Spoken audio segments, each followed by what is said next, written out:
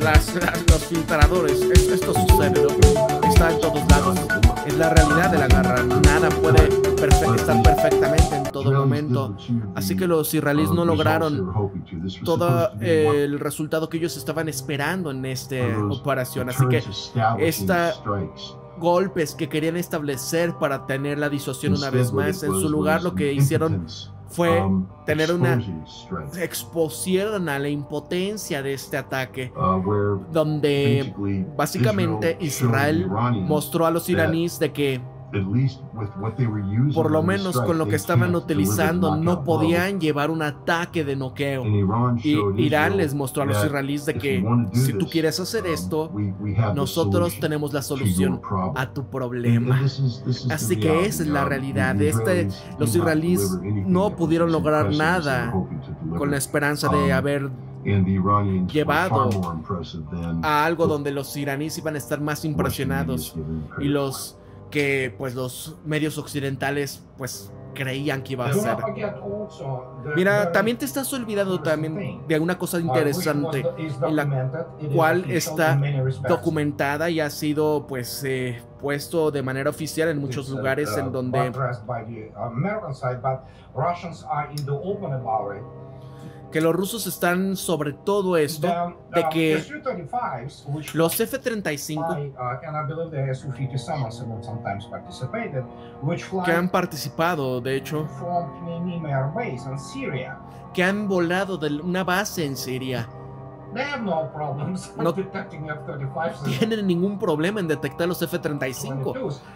Imaginen esto, amigos. ¿Por qué está bien le ha costado a Estados Unidos? Adivinen cuánto.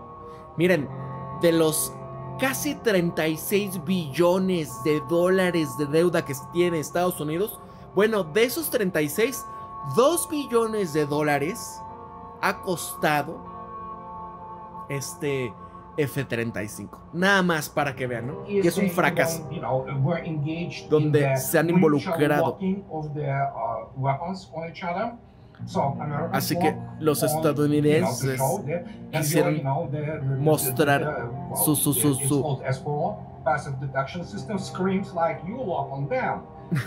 no, donde podían supuestamente estar siendo este, invisibles en sus pantallas, pero como dijiste, donde ahí está esa señal uh, de donde sabes que ya no es nada, ningún secreto, los rusos los pueden estar este, viendo en todo momento, así que en este respecto eh, Irán tenía todo lo necesario para poder, como lo dijeron, ¿no? tenía la posibilidad de estar rastreando y identificando para que en algún momento llegara la solución si lo necesitaban. y donde probablemente fue un shock para todos estos chicos. y una vez más nunca le dieron reporte a este misterioso F-35 que se encontró que por alguna razón con un tema de unos pájaros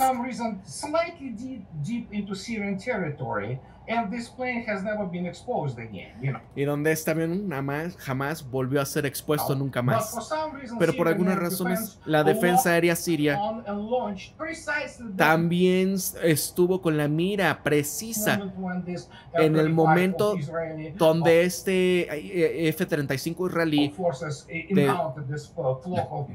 se encontró con esta señal supuesta de aves y lanzaron el buen y conocido S-200 que es un complejo de la defensa aérea antiquísimo.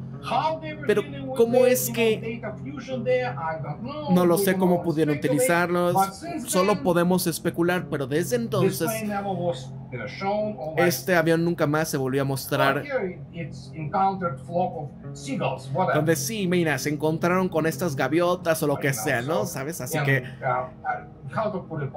Vamos a ponerlo de manera política, ¿no? Sí hubo ¿cómo decirlo? Un paradigma que no hay tal cosa de invisible nunca más. Todo es detectable, uh, todo se puede rastrear, especialmente cuando se viene a los sistemas modernos de procesamiento uh, y también el tema de las capacidades de fusión de datos, como básicamente se extrae todo lo necesario en términos de discreción de frecuencias y tú sabes lo que está en el tema de los satélites. Una de las cosas que quiero hablar también es Um, todo eso, el refinamiento, todos estos sistemas de la defensa aérea, de los sistemas individuales de defensa, sí funcionó en un medio ambiente en donde es una red de sistemas integrado en una red, que esa es la verdadera fortaleza. ¿Qué es que el S-400, no? Con los sistemas iraníes y no me eh, eh, me malinterpretes aquí no sé que el, el S400 es probablemente mejor que cualquier otra cosa. Sí, son bastante buenos. Supuestamente incluso, amigos, está en desarrollo todavía el S500, ¿eh? que está en Rusia. Creo que no pueden sacarlo a ningún lado, pero por lo menos en Rusia, ahí está, ¿no? Tiene capacidades sumamente avanzadas. Pero el S400, amigos, miren, ya está en Irán. Incluso, adivinen quién también tiene ese sistema, ¿no? E-, es increíble, yo no sé por qué esto. ¿Dónde está? ¿Dónde está? Ahí está, ¿no? Por primera vez, Rusia suministra a Argelia el último modelo del destructivo sistema de misiles. Ah, no, el Iskander, el Iskander. Discúlpenme, este es un sistema de ataque. ¿Por qué fueron a ponerlo en Argelia? ¿Acaso para la Tercera Guerra Mundial? ¿Por qué Argelia?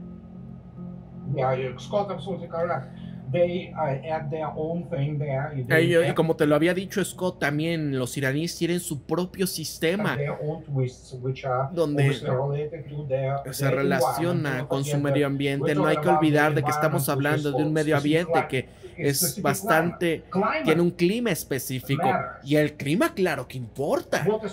Lo que se ha llamado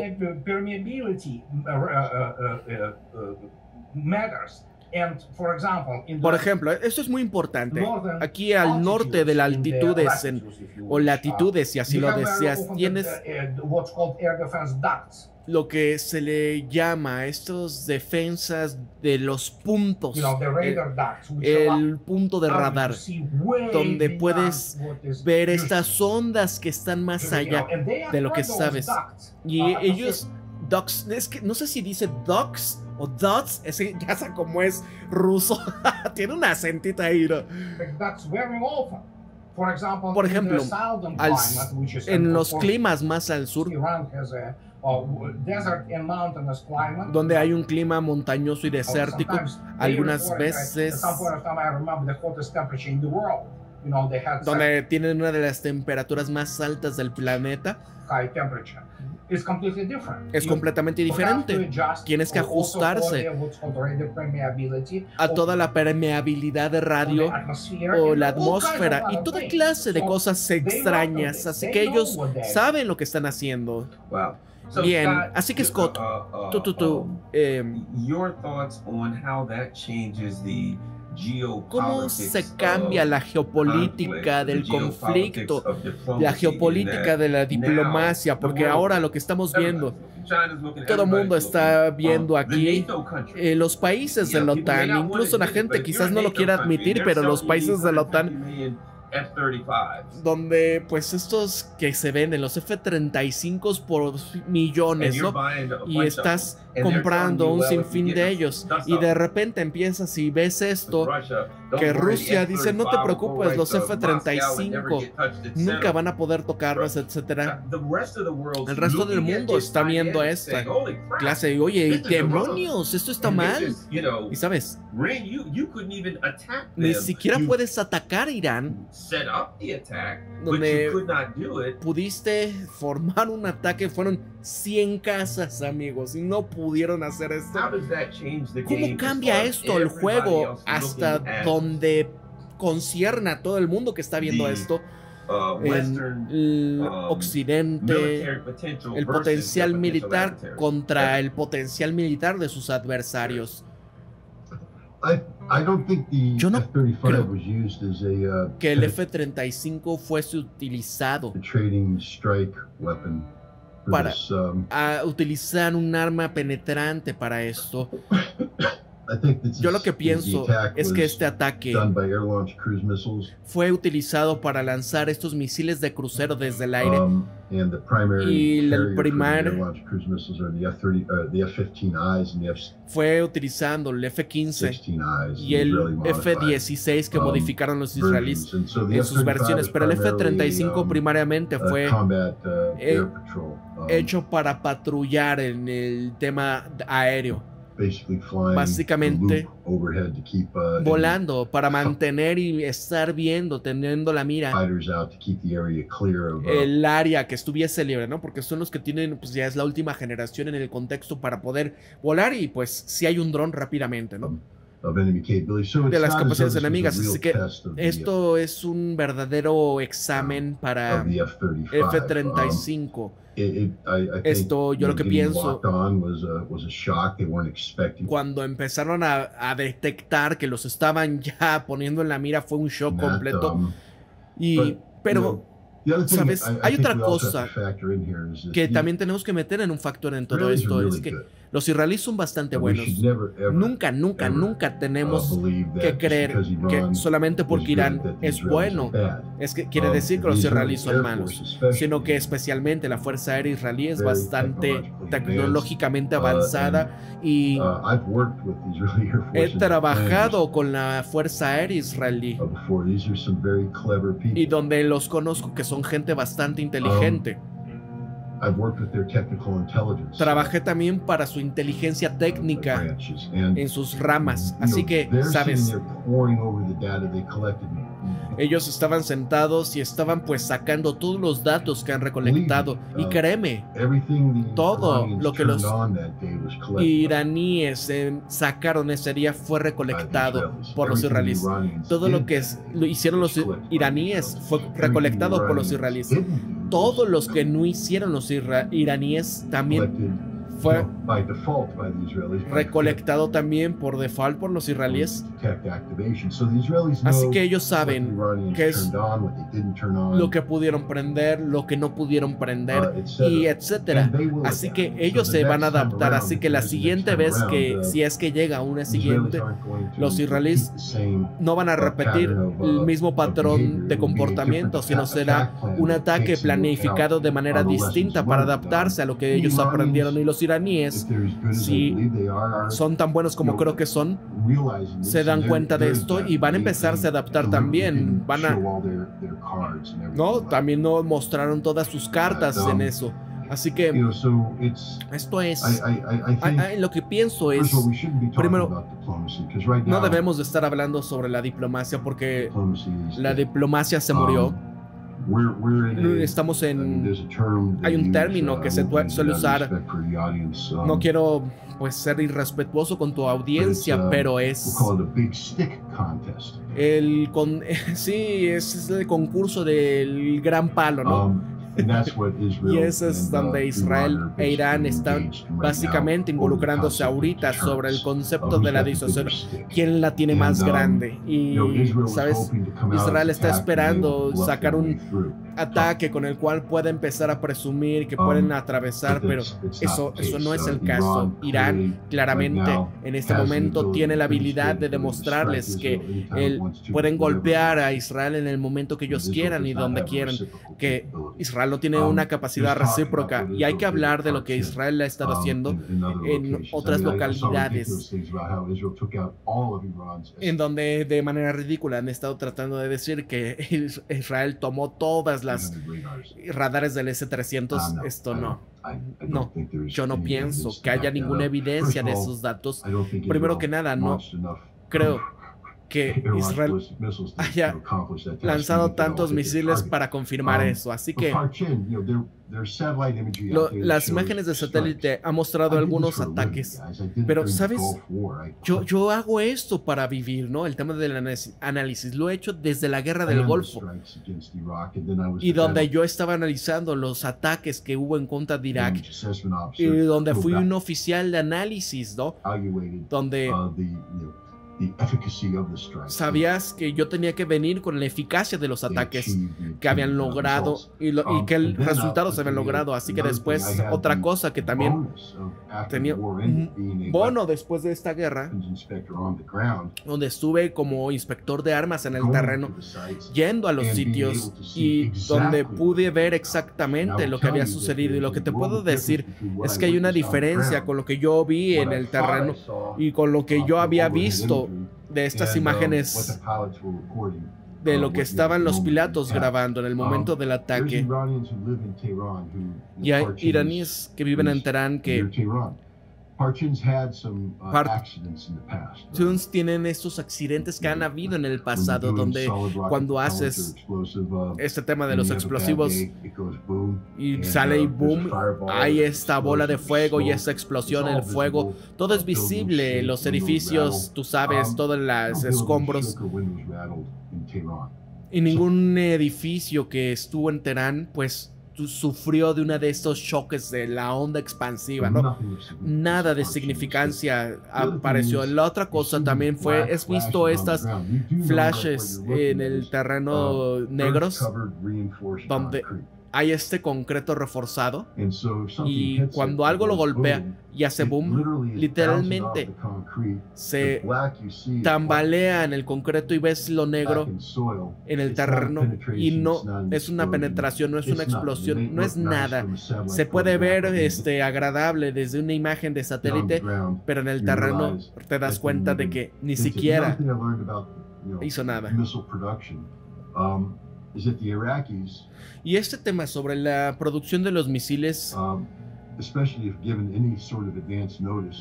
cuando los iraquíes se les dio un tema de avanzada de localización donde iban a tener que atacar, donde um, estaban estos equipamientos, ya sabes, los mezcladores, cosas de esta naturaleza, se remueven del sitio para llevarlo a una um, diferente localidad. Y incluso aunque hayas penetrado uno de donde estaban las instalaciones de estos mezcladores, el mixer no estaba ahí. Los iraníes, como los iraquíes, son um, expertos en sobrevivencia y donde las cosas las, le pueden sacar la vuelta. Así que los israelíes no pudieron sacar absolutamente nada de este ataque, lo que significa que la diplomacia le duele, porque los israelíes en estos momentos no tienen nada que traer a la mesa ahorita. Ellos no pueden decirle a los iraníes, si tú haces esto, lo vamos a volver a hacer y lo vamos a hacer, volver a hacer. Los iraníes son, y lo haces otra vez, vas a gastar todas tus armas y no vas a lograr absolutamente nada. 100 aviones y no pudieron hacer absolutamente nada. Um, Así que lo que pienso es que estamos viendo en estos momentos es una pausa donde uh, ambos están esperando a ver qué van a hacer. Irán no está en el sentido de querer escalar. Y sí, yo respeto mucho al profesor eh, Marandi y sé que él habla de la inevitabilidad de la respuesta iraní y como uh, principio y yo no estoy en ninguna posición para contradecirlo. simplemente estoy diciendo que no hace sentido diplomático. Irán está ahorita en el asiento del conductor y han establecido ya una superioridad de la disuasión. no hay razones. así que está saliendo Irán desde Kazán de la reunión de los BRICS donde donde ellos dijeron que iban a evadir cualquier escalada innecesaria. Así que como miembro de esta comunidad de los BRICS se supone que debes de estar buscando, ya sabes, una resolución pacífica de los problemas y no hay razones para que se escale. En estos momentos...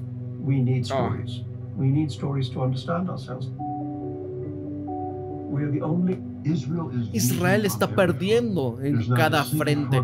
No hay ninguna señal para que nos indique que Israel está ganando.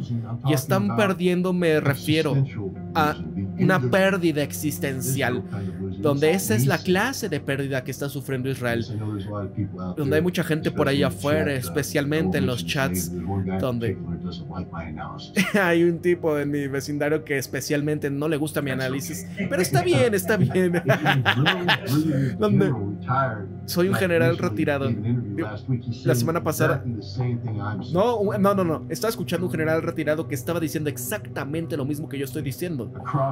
Donde en todo el tablero Israel no ha logrado absolutamente nada de sus objetivos. Los militares están colapsando desde Estás hablando de la cantidad de deserciones que está llegando al 20%. 20% de tasas de deserción. Es decir, les da tanto miedo, amigos. Dicen aquí, obviamente me van a mandar al matadero. O sea, no son gente tonta. Eso, eso hay que entenderlo, ¿no? ¿Y a qué voy a ir allá si me van a torcer, no? Están acostumbrados a nada más ir en contra de niñas y mujeres. Donde se están rehusando a ir a Líbano porque saben que esa es una trampa mortal. Y donde están cometiendo muchos otros también se quieren ir de este mundo por sí mismos. Porque no quieren pelear en el mismo terreno que han estado peleando tres veces antes, ¿no? Porque vuelven a mandarlos a donde ya habían previamente supuestamente limpiado y al final les vuelven a salir por detrás y se tuercen a, la brigada. No han logrado ninguno de sus objetivos jamás. No está siendo derrotado. Hezbollah no ha sido derrotado. Y la economía eh, israelí está siendo destruida donde el 60 perdió 67, a ver, 67 mil millones de dólares.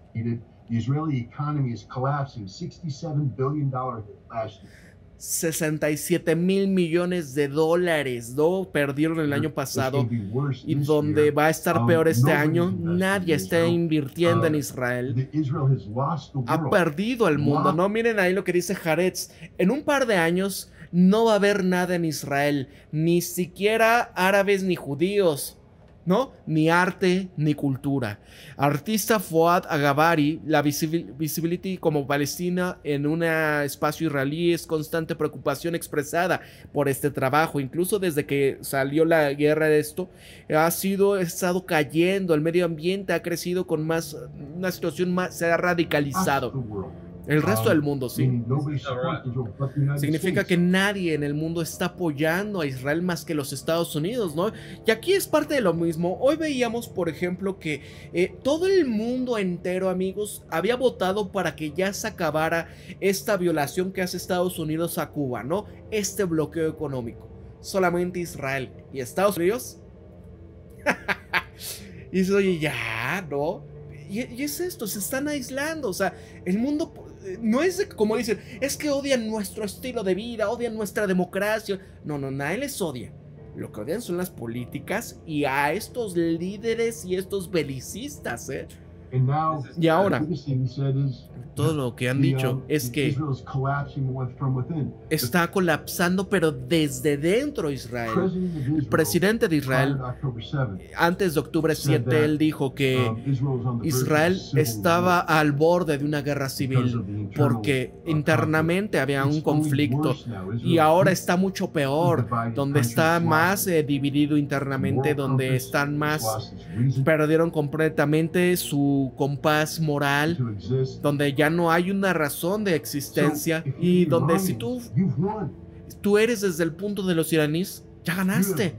Literalmente has ganado, has creado las condiciones en donde eh, has ya llevado a cabo una derrota estratégica hacia Israel, donde no tienes que hacer nada de esto para tratar de involucrarte contra Israel, donde simplemente Israel al estar haciendo lo que está haciendo es la receta para el desastre para ellos, ¿no? Porque ya todo el mundo se enteró, ¿no? Por eso eh, es la cuestión en donde siempre tratan de cambiar sus apellidos, ¿no? Para que no suenen, ya saben, eh, no dicen que son de acá. es el misterio, el llegar a otras tierras y el misterio y demás. Pero cuando todo el mundo ya se da cuenta cuál es el objetivo de muchas de estas políticas, como lo que han dicho acá, el de la defensa de Israel, ¿no? Que son unos animales humanos. Y cuando, por ejemplo, eh, Bezalel Smotrich, que es el de finanzas de Israel, ha dicho, sí, nuestro plan es ir y quedarnos con todas estas tierras porque Dios nos las dio. Y que, o sea, Dios mío, ¿no? O sea, ya, ya. No es de que alguien por acá esté diciendo y porque es anti ellos. No, no, no, no, no. Ellos no están diciendo. Todo el mundo se ha dado cuenta. Y lo que pienso es que esta es la dirección en donde Irán está tratando de hacer ahorita. Y personalmente no creo que Irán vaya a contraatacar contra Israel porque no hay nada para qué contraatacar en que valga la pena. Sí, claro, no hay nada estratégicamente para empezar. Y donde los iraníes son pensadores de larga data, ¿no? Son muy estratégicos. Y la cosa, y es, que aparte, ¿no? En el contexto del otro, pues apenas tienen que desde el 48 que, que se los inventaron por ahí para poder hacer estas colonias. Pero imagínense, amigos, Irán, Es un imperio que desde cuándo, ¿no? No, no es cualquier cosa. Y ese es el error occidental. El hacer menos a todo. ¿Qué pasaba con los chinos? ¿Qué pasó en su momento con los japoneses, no? Y sí, claro que apoyo lo que acaba de decir Scott y donde el hecho también de que usualmente Irán ha permitido cuando surgen estas cosas al hipérbole, donde quieren hacer algo hacia ti. Esta cosa parece que... Oh. desde cero y paso a paso, cómo crear Ahora sí está llenísimo de anuncios en YouTube, como dicen por acá. Sí, donde vamos a responder cuando decidamos hacerlo. Y no hay... Uh, you know, uh, smaller satans and things of this nature, you know, there, there was no this type of the rhetoric, you know. Sí, no hay este tipo de la retórica. And, uh, Mira, dice ahí, ¿no? El análisis. Netanyahu puede oler la victoria total sobre Israel, el Haaretz. Y sí, los iraníes son bastante valientes en esto, porque pienso que, ¿sabes? No, no van a, a contraatacar.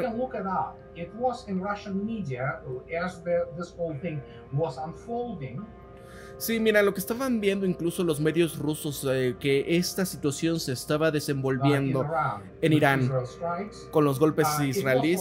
Y fue, por ejemplo, puedes ver también ahí, había reportes de donde se estaba culpando que los rusos estaban en el espacio aéreo de Irán.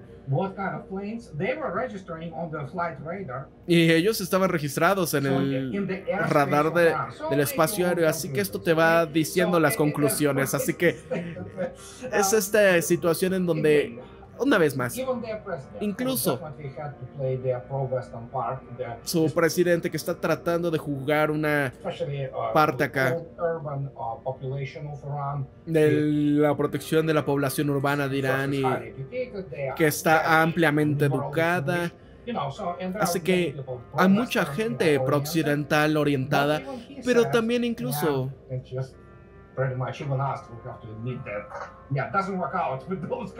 no funcionó, ¿no? El utilizar, ¿no? A estos que, pues, es lo que quería utilizar Estados Unidos para hacer un cambio de régimen por allá.